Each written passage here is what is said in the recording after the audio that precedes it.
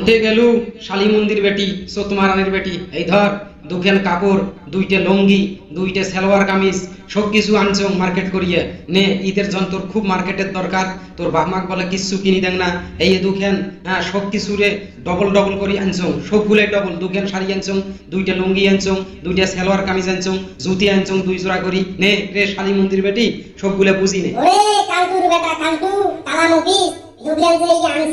দুকেন যে তুই আনছিস দুকেন শাড়ি আনছিস একই কালারের কেরে কালটুর বেটা কালটু একই কালার আনছিস একই পায়ের আনছিস হ্যাঁ একটা অদল বদল করিয়া আনবার পাইছিস রে কালটুর বেটা কালটু সবগুলো কি একই কালার আনা লাগে হ্যাঁ? এক কালারের মানুষ কোনোদিন দুকেন কাপড় আনে রে কালটুর বেটা কালটু এই ফকিরানির বেটি, তুমি বুঝবেন না চিস না কে এক কালারের আনছ?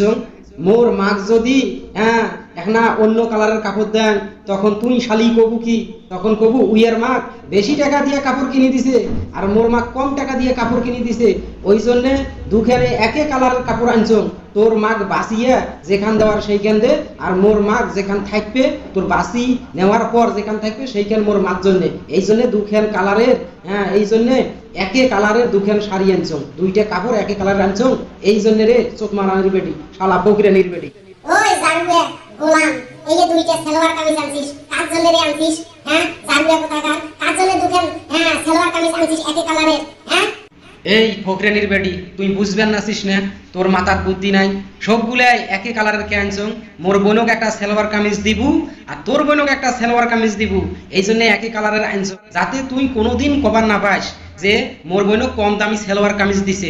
তুই বারে বারে কি কাজিয়ে বাজার ফন্দি বাইর করবেন না চিস মেশিন কিন্তু স্টার্ট দেম শালী মন্দির বেড়ি, এই যে সবগুলাই এক একটা মানে প্রত্যেকটা জিনিসের ডাবল করে আনছ তুমি বাঁচিয়ে বাঁচিয়ে তোর বাপের বাড়ি তাকে পাঠিয়ে দে। তারপর জেলে থাকবে, সেলে মোর হ্যাঁ ফ্যামিলির মানুষে হ্যাঁ মুই দে বুঝিয়ে। বুঝিস নাই, শালী মন্দির বেটি থানার অফিসে হাতেম তাই সাজিছে হাতেম ফেতরার কাপড় জাকাতের কাপড় পরতে পরতে গোয়া ছাল বাঁধা গেল জাকাতের কাপড় পরতে পরতে তার বেটা কত ফুটেনি ই মোর বাপমার বলে ওই হ্যাঁ ঈদত মার্কেট করে দিবে কি রে কালাম অফিসে উইয়ের চোদ্দ ফেতরা খায় জাকাত খায় তাই বলে মানুষ দিবে হ্যাঁ ঈদের মার্কেট করিয়ে লজ্জা নাই কালাম অফিসে লজ্জা নাই তোমরা বলে শুনছেন বা হে এই কালাম অফিসের কথা এলা, এই শালী মন্দির বেটি, মেশিনটা স্টার্ট দিবে মনে না। তোমরা এগুলো কন্ত বাহে। হ্যাঁ এই শালী মন্দির বেটি, এলা, মেশিনটা স্টার্ট দিবে মনে হয় না। দুই দিন হয় নাই উইয়ার বাপ মাক মার্কেট করি দেন নাই জন্যে। মোর সাথে সেই কি তুমুল ঝগড়া, আর এলা মার্কেট করি আনছ এখন দেখেন তো এই ফকনের বেটি, মোর সাথে কি শুরু করছে। এখন কি মেশিন স্টার্ট দেম তোমরা এগুলা কন্ত বাহে। এই শালী মন্দির বেটি, মুই কি মেশিনটা স্টার্ট দেম, তোমরা গুলো কন্ত বাহে। ইয়ার পিতলেন তোমার সহ্য হবার নিচ্ছে না। ওই কালটুর বেটা কালটু কালাম অফিস তোর হ্যাঁ এই যে আমার কিছু লাগবে নাই মোর বাপ মা হ্যাঁ তোর এই যে কাপড়, লুঙ্গি টবল হ্যাঁ সেই মোর বলে সালোয়ার কামিজের জন্য হালা কাটাম হয় রে। হ্যাঁ গোলামের বেটা। মুই তোর মনটা পরীক্ষা করছিল এতদিন। যে কালাম অফিসে ইয়ে বলে বাহার মধ্যে সয় সম্পত্তি আছে, রানী সত্যবতীর বংশধর, সেই বংশধরের মনটা পরীক্ষা করছিল রে। মোর বাপ ভাই ভালো ভালো চাকরি করে ঢাকা আমরা মোর হ্যাঁ ফ্যামিলির জন্য অনেক ভালো ভালো মার্কেট করছে। কয়শো টাকা দিয়ে তুই কাপড় কিনছিস রে? কালাম অফিসের বেটা, কালটু, কালটুর বেটা, কয় টাকা তোমরা গুলা যারা দর্শক আছেন তোমরাই গুলা কন্ত বাহে এই শালী মন্দির বেটি, এলা মোর কি করিবার মনে হয়? হ্যাঁ এই যে রমজান মাস তো শেষে হয় না এই জন্য তো ইয়ের মুখের পাড়াখান বাজছে তোমরা গুলে কোন?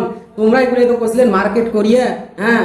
সবাইকে তোর বাপ মাক দেশ, তোর শ্বশুর শ্বশুরিক দেশ, তোর শালি একটা আছে কুতকুতে শালি, তাকে একটা সেলর কামিজ দেশ। মুই তো শোক করছং বাহে হ্যাঁ? মুই তো শোকে করছং তাও মুই এই হ্যাঁ ফকরেনির বেটির মন খেন পাবার নেছং না। তোমরা গুলে কন? মুই কেমন করিয়ে বাঁচি থাকি? ইয়ার জলান ইয়ার পিতলেন হ্যাঁ? ইয়ার যে ইয়ে কীর্তন শুরু করে ইয়ার কীর্তনতে মুই মরি যাইম বাহে। তোমার গুলের কাছে মুই অনুরোধ চান মুই এই এই বউটাকে তালাক দেন, ঈদের পর তালাক দেন, তোমরা গুলো সাক্ষী থাকেন। ইয়ার তালাকে দেন